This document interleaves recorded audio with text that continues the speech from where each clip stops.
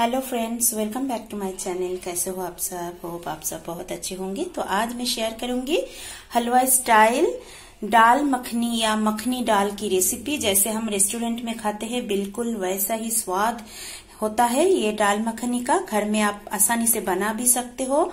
Specially north India में कोई भी ओकेशन में चाहे शादी हो कोई भी घर में गेट टुगेदर हो या बच्चों का कोई फ़ंक्शन हो, पार्टी में ये दाल मखनी और शाही पनीर, ये कॉमन मेनू है। ये बनेगा ही बनेगा और मेरे हस्बैंड भी बहुत पसंद करते हैं। तो चलिए, इसकी रेसिपी देखते हैं। ये बहुत यम्मी एंड डेलीसियस है खाने में। चलिए, इसकी रेसिपी अब हम देख लेते हैं। तो फ्रेंड्स दाल मखानी के लिए हमें चाहिए ये काली उड़द की दाल। साबुत काली उड़द की दाल मैंने रात को भिगो के रखा है। ये है राजमा और ये है चने की दाल। ये तीनों दालों को मैंने रात को भिगो के रखा था। तो यहाँ पे मैंने लिया था 250 ग्राम काली उड़द की दाल, एक मुट्ठी राजमा और एक मुट्ठी चने की दाल। तो टोटल मिला के दाल हो गया हमारा 500 ग्राम्स। तो अब मैं ये काली दाल को दोनों हाथों से रगड़ के अच्छे से वॉश कर लूँगी।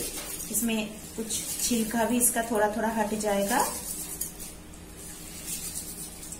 और फिर मैं प्रेशर कुकर में इसको उबाल के बॉईल कर लूँगी। ये बिल्कुल हलवा स्टाइल है, पंजाबी दाल मखा तो फ्रेंड्स, अभी हम प्रेशर कुकर ठंडा हो गया, इसका लीड खोल लेते हैं। देखिए, दाल एकदम गल गया है। थोड़ा लाइट का प्रॉब्लम है आज हमारे यहाँ, इसलिए थोड़ा अंधेरा अंधेरा लग रहा है। मैं दिखाने की कोशिश कर रही हूँ, उठा के ये देखिए फ्रेंड्स अब मैं एक स्पून के पीछे पार्ट से मैं इसको ऐसे ही थोड़ा सा तोड़ तोड़ के दाल को गाढ़ा कर लूँगी। ये देखिए। और तेज आँच पे मैंने दो सीटी लगाई और धीमी आँच पे तीन सीटी लगाई मैंने। दाल मखानी के लिए एक मसालों का मिक्सर करना है। टमाटर से एक प्यूरी बनाना है। टमाटर, लहसुन, अदरक और हरी मिर्च। यहाँ मैंने लिया है दो बिग साइज़ के टमाटर के टुकड़े कर लिया है। दो इंच अदरक का टुकड़ा, दस, बारह लहसुन की कलिया दो हरी मिर्च। इसे आप पानी डाल के मैं उबालूँगी। तो फ्रेंड, चलिए बनाना शुरू करते हैं। हलवा स्टाइल, रेस्टोरेंट स्टाइल, कुछ भी आप बोलो, दाल मखानी की। रेसिपी इसके लिए मैंने यहाँ पे चार मीडियम साइज़ के प्याज को मिक्सी में पेस्ट कर लिया है। और ये जो टमाटर मैंने उबाल लिया था, लहसुन, अदरक, हरी मिर्च के साथ, उसका भी पेस्ट ये कर लिया है मिक्सी में। आज लाइट का थोड़ा प्रॉब्लम है हमारे यहाँ। अभी लाइट नहीं है तो मैं कोशिश कर रही हूँ जितना रोशनी में ये बना सकूँ रेसिपी अब ये कढ़ाई में मैंने वाइट ऑयल गरम कर लिया। ही ये पूरा रेसिपी घी में आप बना सकते हो, देसी घी या बटर में।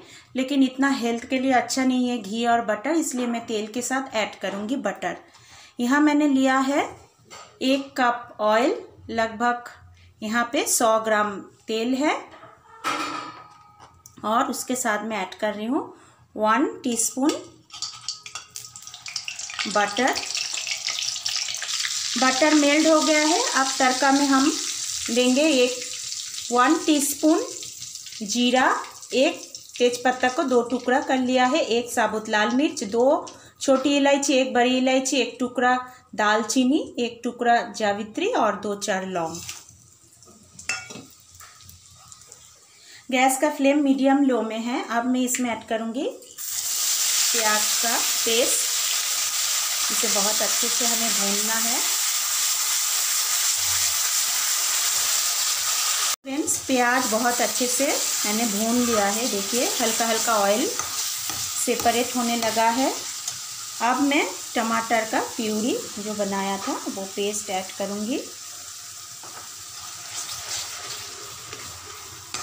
और बहुत अच्छे से हमें इसे अभी भूनना है।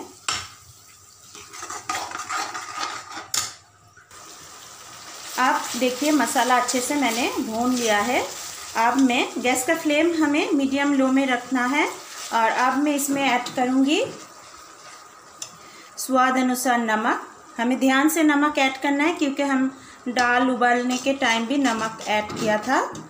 वन टीस्पून हल्दी पाउडर, वन टीस्पून धनिया पाउडर, वन टीस्पून जीरा पाउडर और one teaspoon Kashmiri red chilli powder और वन टीस्पून चीनी। टेस्ट को बैलेंस करने के लिए। बहुत अच्छे से अब इसे मैं भूनूँगी।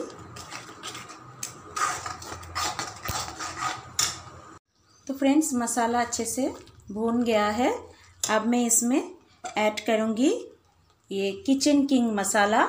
ये एवरेस्ट का किचन किंग मसाला मैं यूज़ करती हूँ। मेरा बहुत फेवरेट है और हलवाई स्टाइल जब मेरी बेटी की फ़ंक्शन में हलवाई ने भी देखा था, यही मसाला ऐड किया था। थोड़ा सा पानी ऐड करूँगी।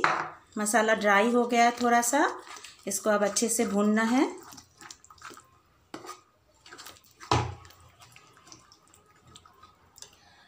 अब इसमें ऐड करूँगी ये वन टीस्पून ये कसूरी मेथी, ये रोस्टेड कसूरी मेथी है रोस्ट करके मैंने मिक्सी में इसका पाउडर बना लिया। बहुत अच्छे से हमें इसको अब भूनना है मसाले को। मैं ऐड करूँगी घर के जमाया हुआ फ्रेश मलाई टू टेबल स्पून ये फ्रेश मलाई हो तो ही आप ऐड करना, ज़्यादा पुराना ऐड नहीं करना है, नहीं तो इसमें एक स्मेल आएगा और मसाला का टेस्ट ख़राब हो जाएगा। और ना हो तो भी प्रॉब्लम नहीं। अमूल की फ्रेश क्रीम भी आप यूज़ कर सकते हो। मैं भी यूज़ करूँगी। मसाला मेरा अच्छे से देखिए तैयार हो गया है। अब मैं इस मसालों में दाल को मिलाऊँगी।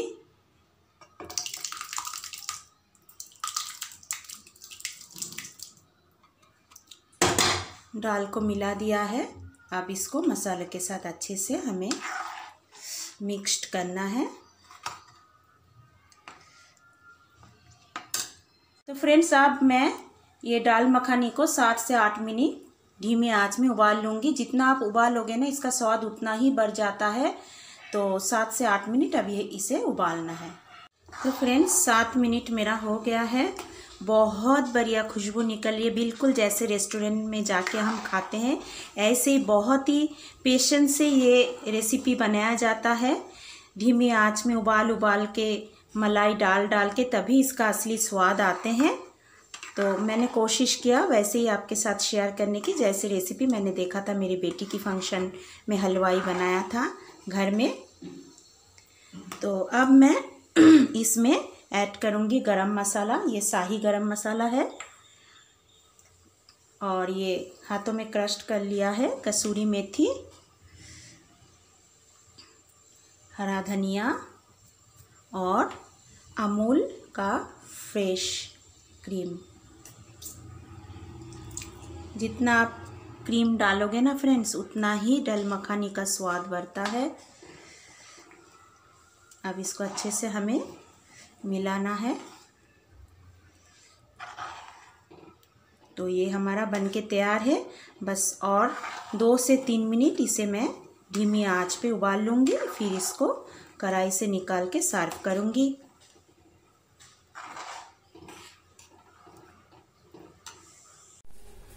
तो फ्रेंड्स, ये हमारा हलवा स्टाइल दाल मखानी बनके तैयार है। ऊपर से मैंने फ्रेश क्रीम, बटर एक हरी मिर्च और धनिया पत्ते से गार्निश भी कर दिया है।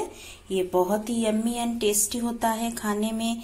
लच्छा पराठा, रुमाली रोटी, तंदूरी रोटी स्टीम राइस जीरा राइस के साथ खाके आप इंजॉय कर सकते हो। ये बहुत ही यम्मी एंड डिलीशियस एक रेसिपी है। अगर मेरी रेसिपी आपको पसंद आए तो प्लीज़ मेरे चैनल को सब्सक्राइब कर लेना लाइक करना शेयर करना और बेल बटन को प्रेस करना कि मेरी आने वाली वीडियो के रेसिपी आपको आप तक पहुँच जाए। नोटिफिकेशन आप तक पहुँच जाए। Thank you